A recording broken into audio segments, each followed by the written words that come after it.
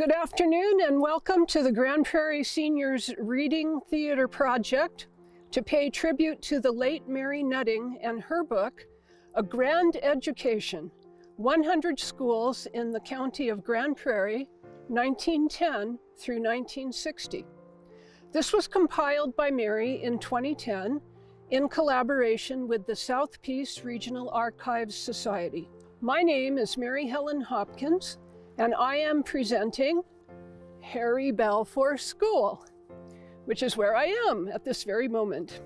In the 1950s, with improvements in transportation and the road network in the South Peace, it was possible to consider consolidating the one room schools in the area. Larger schools meant more opportunities and a better education for the students.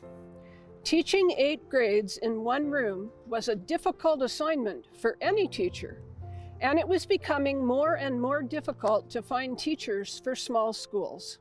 Added to this was the fact that many of the schools, built in the early years of the century and often of log, needed to be replaced. It was time for a new system.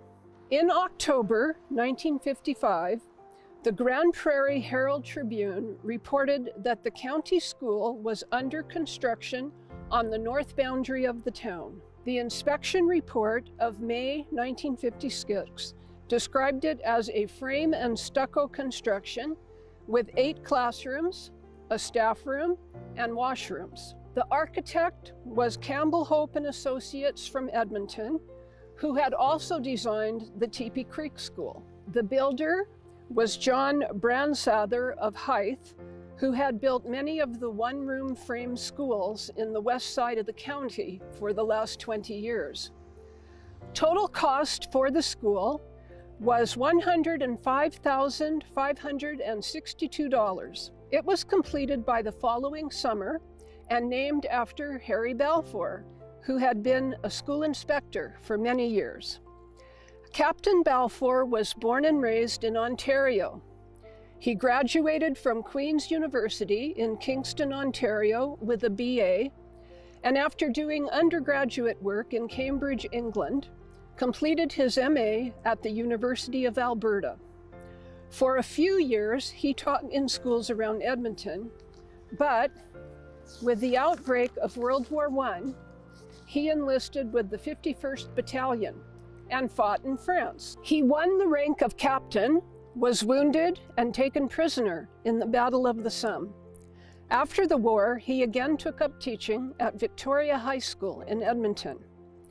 In 1929, the large Peace River Inspectorate was divided and Mr. Balfour became Inspector of Schools in Grande Prairie. He transferred to the staff of the Edmonton Normal School in September 1930, but was soon back as inspector in 1933. He was greatly respected by boards and teachers alike, and his ability to mediate difficulties in the rural schools was evident to all.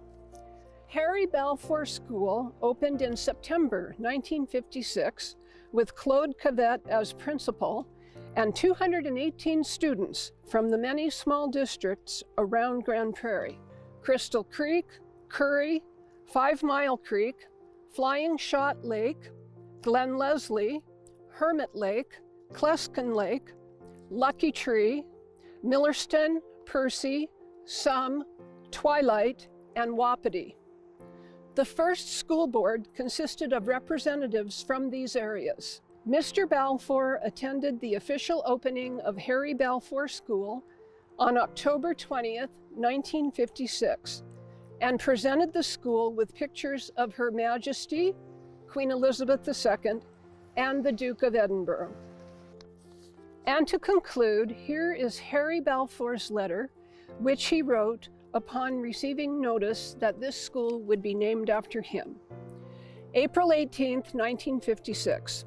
Dear Mr. Bowen, Secretary Treasurer of the County of Grande Prairie, name of new school in Grande Prairie. I have received your letter of April 11, 1956, regarding the use of my name for the above school.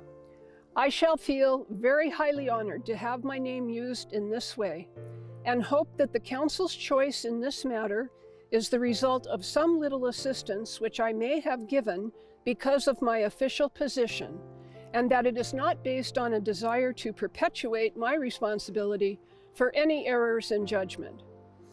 A number of school buildings in the province have been named after individuals. It is not necessary to provide a number because the erection of this school does not create a new school district.